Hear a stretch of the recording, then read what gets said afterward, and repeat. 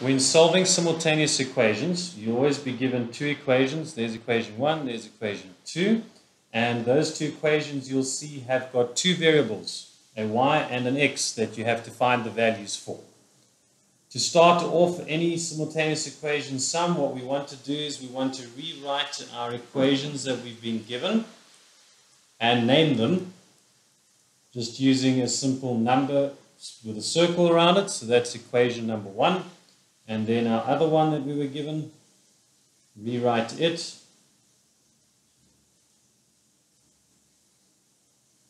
And label it equation number two. That just makes it easier as we're doing our sum to be able to keep track of which equation we're busy working with. Okay, now the next step is to go and check your two equations and say, okay, now which, which of these two equations are the easiest to work with? So you can see here that this equation number 2 has got an x squared in it. It's also got four terms. That's definitely a more difficult equation to work with than equation number 1.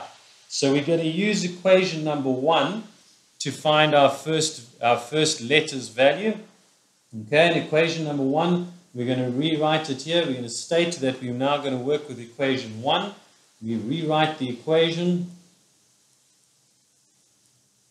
and then we go and solve for either x or for y. And whenever you do this, you're going to choose again the easiest one. This y has got a 2 in front of it, so it's not the easiest one to solve for. The x is on its own there, so we're going to rather just go and solve for x. So to do that, of course, we're going to get x on its own and all this other stuff on the other side of our equal sign over here.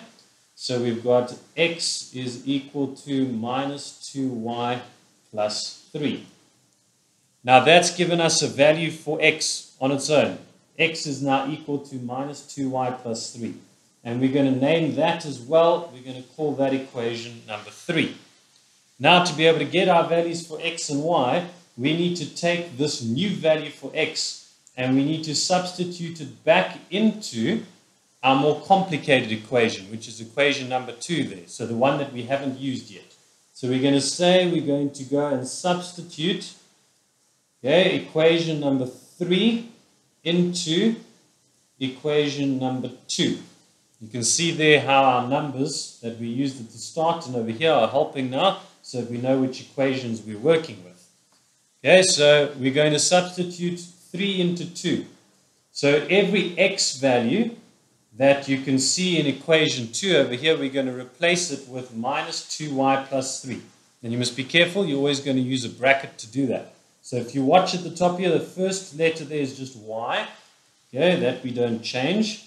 Then we've got minus 3x. So that minus 3 stays the same. The x gets replaced by minus 2y plus 3.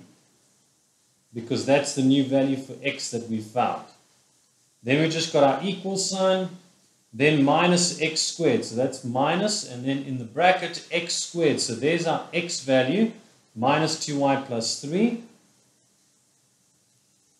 Close the bracket, squared. And that's squared, of course, because that x there is squared.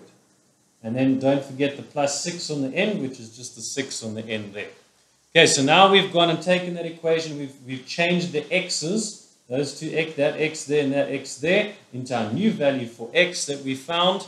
And we've substituted that in. Now to find the value for y, because as you can see, all you've got left in this equation is y. So we need to go and find the values for y, and to do that, we do stick with our normal algebra, and we simply go and multiply out all those brackets, and then simplify our sum. So our y stays as is. We multiply the minus 3 in. Minus 3 times minus 2 is going to give us positive 6y. Minus 3 times plus 3 gives us minus 9. And then equals, our minus sign stays there. And because this is a squared bracket, you should know already by now that you're going to go and write that bracket out twice, because that's what the square tells us, that we've got two of those brackets, and then of course the six still on the end. Now on this side over here, we can simplify that. y plus 6y is of course 7y. And then we've got our minus 9. And then on the other side, we've got to multiply out these two brackets. The minus sign stays outside there for now. Remember that that gets done last. First, we sort out the brackets. Minus 2y times minus 2y is just 4y squared. Then we've got 3 times minus 2y is minus 6y. And we've got minus 2y times 3 again, which is another minus 6y. And then plus 3 times plus 3, which is just plus 9.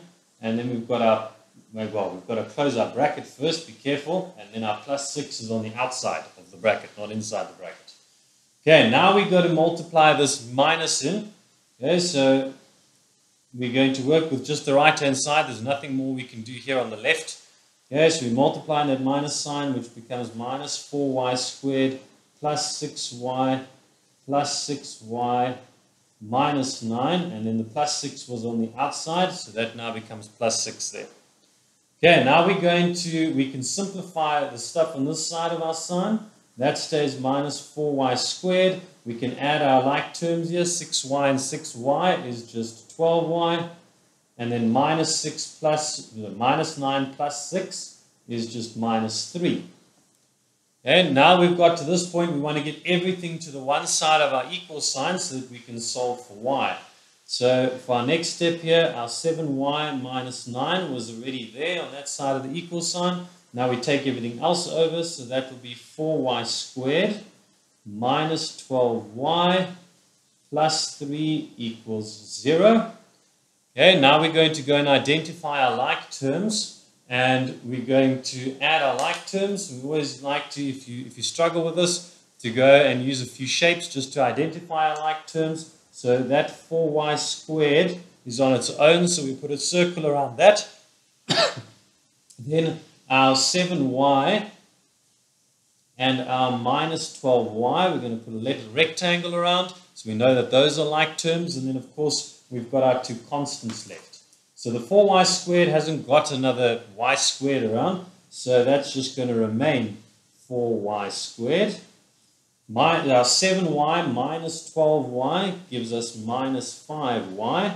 And then, of course, minus 9 plus 3 leaves us with minus 6 all equal to 0. Now you should notice, of course, that this is now a trinomial, and we need to go and solve for y. So we know we're going to go into two brackets, and you can use your calculator to find the factors that need to go into those brackets, but this is going to be 4y plus 3, and this one will be y minus 2.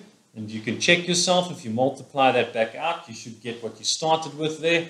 And then with that, if we go and make this, this um, bracket equal to 0, we'll find that y is equal to minus 3 over 4.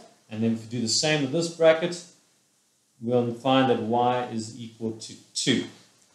Okay, so those are the two solutions for y for our simultaneous equation. But we still have to find the values for x. And to do that, we're going to take each of these two values and substitute them back into the easiest equation. Now, earlier on, we decided that this first question, this first equation here was the easiest one.